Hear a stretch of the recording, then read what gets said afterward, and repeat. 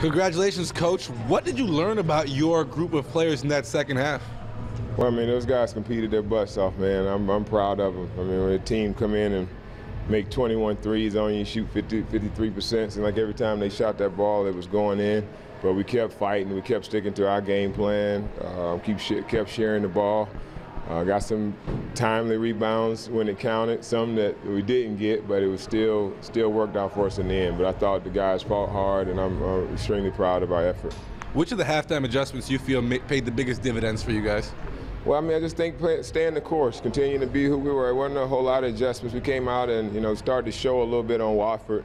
You know, he had uh, made some threes, four for five at the half, and we were blowing and, and wasn't getting back to him in time. So we decided to show on him, uh, you know, in the second half, and we're able to take him out of the game a little bit. But you know, uh, Stone, a guy that you know you wouldn't typically think would come out and, and, and, be a three-point shooter. He's more of a distributor. He does a great job of finding his teammates, but he made big shots for him for them tonight.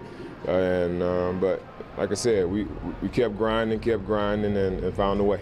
Two guys that really stood out today. Will Sheehey was consistent from tip, but second half, CJ really pitched in for you guys. Yeah, I mean, you go down the list, man. I look at, you know, CJ had a good game. Will made shots for us. Uh, I think one of the bigger plays of the game was John Jordan coming in and giving us some energy right there to, to start the fourth. So, I mean, I think everybody contributed. It was a, truly a team win. Proud of these guys. Like, we could have came in, like I said, and got gimmicky and feel, you know, figuring out a way to try to stop what they're doing. But we decided that we were going to be us, you know, continue to be us, continue to work on us. We're still a work in progress, but you know, we beat a you know team that had been playing really, really well. You know, this their first loss, so we got to we got to feel good about that.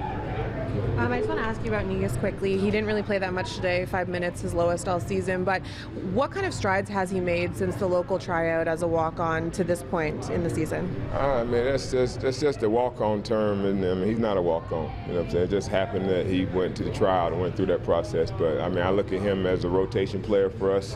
But um, you know, some games we're going to shorten the rotation, and he could be the odd man out. Antoine Wiggins, a guy that can provide a spark for us. He had low minutes tonight. When we got guys go, going well, we're going to try to ride those guys. Uh, my, my my job is to try to get a, a feel of who's playing well, and whoever's playing well, I'm going to roll with. And I think our team understands that they accept that, and I mean that's who we are. And just as a part of the team, when he is on the bench, he seems to be the most enthusiastic. He's one of the first guys up, cheering everyone on. That's just a testament to his character.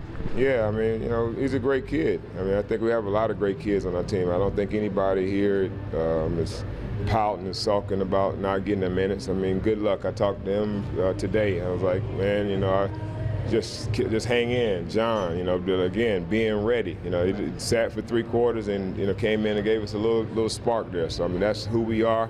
I think our leaders set the tone for us. Uh, Fred, um, you know, EJ, those guys are team guys. They stress team, you know, throughout everything we do. So I think that's a that's a real positive for us when we got those type of guys that's that's leading the way you. Coach, do you know yet if Fred and Bruno are hitting the road with you guys? Uh, I don't. I don't. Unfortunately, not. You know, I think they. You know, I'm, but I'm, I'm gonna try to call somebody between now and and, and, and maybe, maybe not tomorrow night's game, but hopefully somewhere we can get those guys down with us because I mean they. I, I think they feel you know really part of this group. You know, Bruno had a good game tonight. You know, and you know had a good rhythm. You know, felt like he was you know, had a better feel for what was going on out there. So I think our film session, you know, taking it to them. They weren't with us at the film session yesterday, but uh, David Gill was able to go down there and show them some of the mistakes they made the game before. So it's uh, we will do whatever it takes to make sure that he continues to um, to contribute and, and, and, and, be live, a, live body like he was tonight. Bruno's uh, miss Duncan, the first looked like it took more out of you than it did of oh, him. My, that's yeah, but that's I know it happens, but I, that, that one was down in the hole. I thought that was down, man. But I mean, it's just one, one of those plays, man. Like that at the, right there at the end.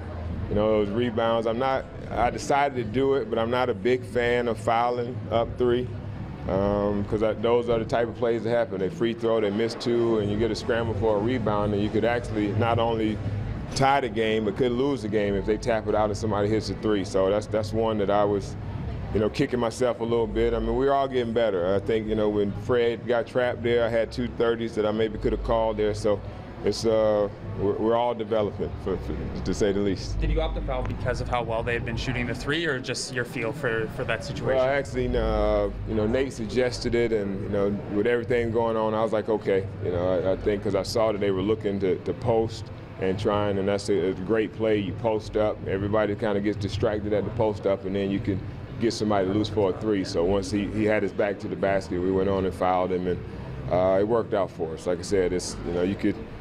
You know, half a dozen times it works, half a dozen times it doesn't. But you know, fortunately for us, it worked tonight.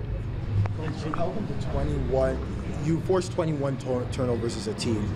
And much of those were in the second half. Did you kind of make a defensive adjustment in the second half to No, force we were it? active. I mean, I think we had 11 deflections in the first quarter. and Came back and had 11 in the third. So we were we were really active. Uh, wasn't so much in the in the second quarter, but in the first and third quarters we were really active. So we want we, that's a big sign of how well we're playing if we're able to get deflections. I mean, we're, we're active. Guys are moving not only their bodies but their hands and, and making it tough on the offense.